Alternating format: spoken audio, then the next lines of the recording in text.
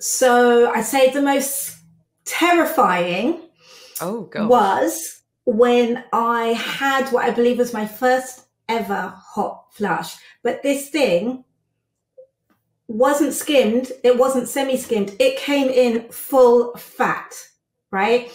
I, I think I'm not hyperventilating, but just breathing became a little bit labored. And at the point I was gonna go back into the dining room or shout, I think you need to call an ambulance. It just went shh. Wow. So it just diminished.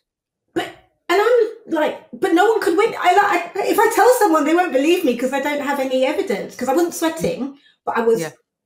like, I reckon you could. It felt like you could fry food on me. I was felt that hot.